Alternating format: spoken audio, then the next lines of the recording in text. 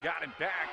Wide open look outside, and our first bucket belongs to Iesa. And that is why he. Leads to the offensive opportunity for Ela. And Max Mackinnon is just going straight to the basket. The pirouette.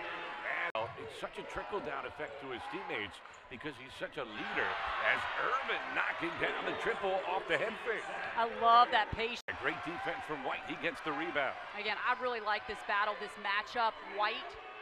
Iesa knocking down the triple. Again, you see why hero Zach Irvin, who does so much out on the floor. Sherry, gorgeous feed from Gillens Butler. Again.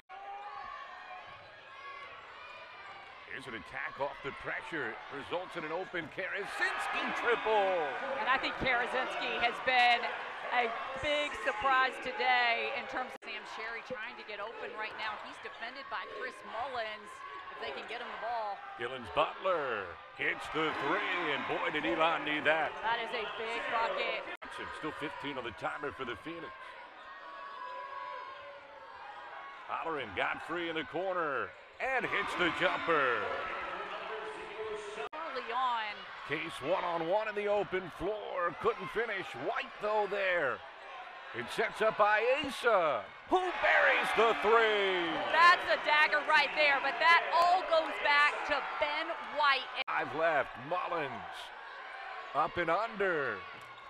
What a finish to the first half for William and Mary. Said that, Matt. That was such a tough shot. He kept working at it, but I think that about sums up the first anyone would want to have on their roster just from that mentality that he brings. Nelson catch and shoot, finally knocks one down. And that's a good sign for William. Hands from Wight to force the turnover.